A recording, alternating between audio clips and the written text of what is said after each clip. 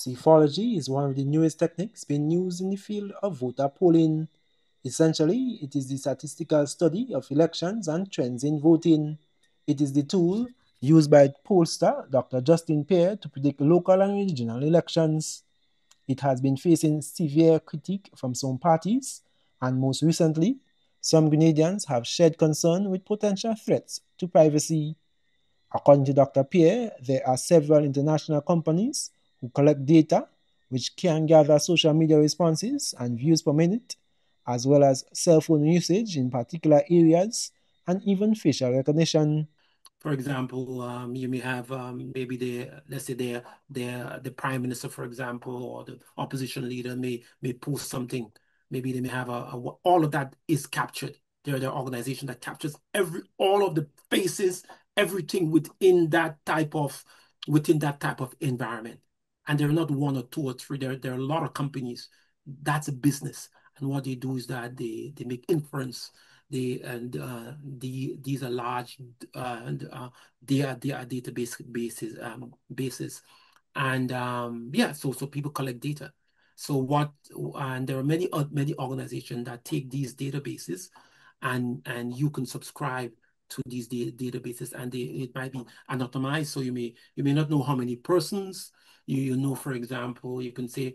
He says from these databases, the fight has been taken to human trafficking in some parts of the world. This technology is now being used to predict elections, carry out surveys, and even assist law enforcement in solving crime.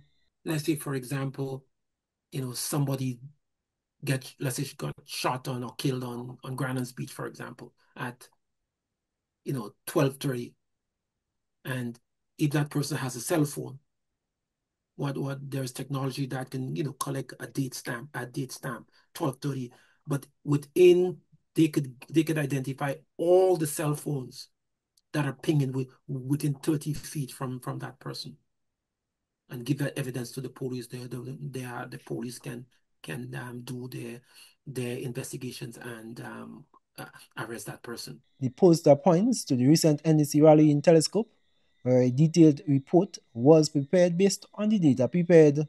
So, for example, there are there there are there are social there are companies that can get the video that can get any video that was uploaded.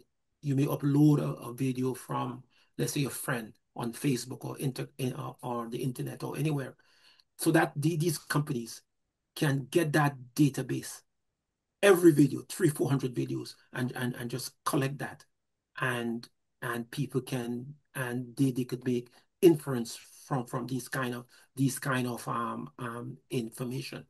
Though noting the privacy concerns, he expressed that such technology will be used to predict Grenada's election. Definitely, I, I think that it we would not be deterred. Uh, what we want to do now is to be more precise. Uh, first of all, we have to follow our methodology. We should make predictions within seven days or five days, you know, because that's the standard.